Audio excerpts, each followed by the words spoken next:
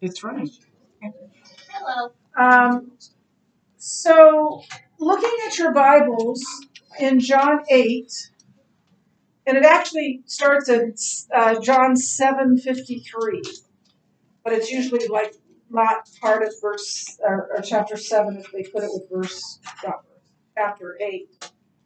Does anybody have in their Bible something written there that's not a that's not a verse? The earliest manuscript. The earliest manuscripts do not include John 7:53 through 8:11. What do you think that means? They were long. Maybe, Or they didn't exist. maybe I'm not sure. I know what you what what you mean. I don't know either. Here's what I'm going to tell you. about this. And when I and I'm just going to say it, and and something inside you is going to start twitching when I say this, and you're going to be like, "No, that can't be right." John didn't write this, it wasn't. It wasn't part of his gospel when the gospel was written. I know, I know what you're doing. I, I, can, I, can, I can feel it, right? So, um, so there's there's evidence for this. Uh, and we'll talk more about it in just a second. We'll talk more about it in the lecture. Uh, but first, I want to just give you a little bit of an idea of, of um, what it says uh, the earliest manuscripts. Um, so, uh, we don't have the original manuscripts of the New or the Old Testament. Uh, but what we do have is tens of thousands of ancient manuscripts um, of, of parts of the uh, New Testament, whole books of the New Testament, whole Bibles of the New Testament. Um, and uh, we'll talk a lot about this in a little bit about this in your junior year, a lot about it in your senior year. Um, it's called textual criticism, and part of the way they figure out what's really supposed to be in the Bible is by comparing those manuscripts to one another. And some of them, all of them are ancient. Some of them are, are very, very old. In fact, some of them may have been copies of the original. Uh, they're that old.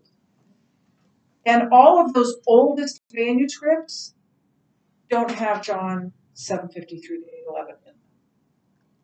Now, does that in the Bible then? And does that mean it's not a true story? Um, we'll get to those questions uh, in a little bit. And, I, and we'll begin um, right here with uh, your questions that you'll do today. You'll do these questions, you'll turn them in, and then we'll just start uh, the lecture. And, and the part of the lecture uh, that we'll start will be um, about this idea of um, the story not being original to John. And hopefully uh, you'll understand why I'm saying what I'm saying when you do that. I need one of those too.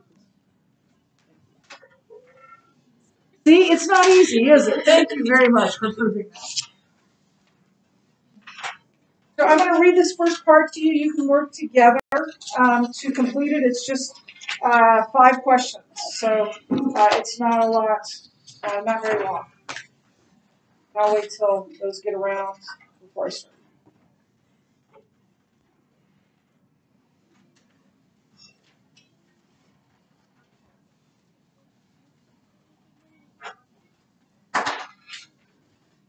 when I wrote this, um, uh, I I usually did the curriculum one first and then this one, and I decided to switch it around. So, as I mentioned to you in class just now, I mentioned to you in class, there is overwhelming evidence that John 7:53 to 8:11 was not originally part of John's gospel, and in fact wasn't even written by him. It was added to the text somewhere along the way. I will share with you some of the evidence for that in class, but for now, I want to focus on something else. Does the fact that this story was added later mean that it's false? No, it doesn't.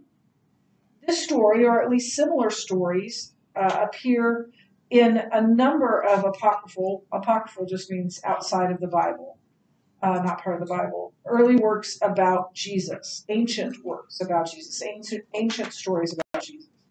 So I believe it's a true story, and we'll treat it that way. How do I know there aren't a lot of added stories in the Bible? considering the size of the New Testament and its antiquity, how old it is, there are very few passages that are possibly not original, and they have all been identified. And in your Bible, it will tell you that, and there are very few. Uh, for the most part, the Bible you hold in your hands is precisely what was written in the earliest manuscripts. In many cases, these manuscripts were probably copied from the originals. So don't worry, you can trust the Bible even if somebody added this story after the fact. And actually, I'm glad he did because it's a great story. So uh, do John uh, 8, 1 through 11, the five questions, read what it says in here, and when you're done, uh, turn those in up here on my podium. Remember, face down, front up. Uh, and then we'll uh, start the lecture after that.